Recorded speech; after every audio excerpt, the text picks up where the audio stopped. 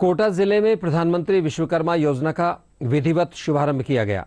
इस अवसर पर आयोजित कार्यक्रम को संबोधित करते हुए केंद्रीय मंत्री कैलाश चौधरी ने इस योजना को अभूतपूर्व बताया और कहा कि ये नवयुवक कामगारों के लिए मील का पत्थर साबित होगी। साथ ही इसके दूरगामी परिणाम भी मिलेंगे।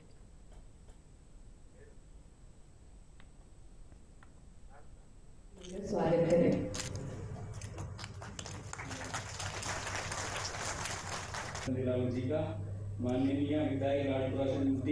जिसमें उनको बिना किसी कोलेट्रल के गारंटी के उनको तीन लाख रुपए तक का लोन मिलेगा और वो भी कम ब्याज के ऊपर मिलेगा।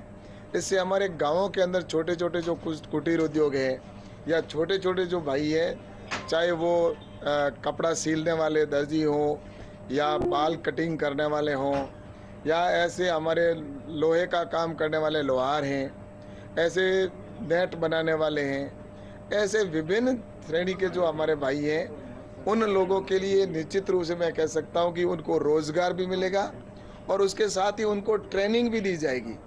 और ट्रेनिंग के अंदर भी मैं कहूँगा कि उनको प्रतिदिन ट्रेनिंग के अंदर भी उनको पाँच सौ रुपये भी उनको मिलेंगे और इसके साथ ही उनको मार्केट से भी लिंक किया जाएगा।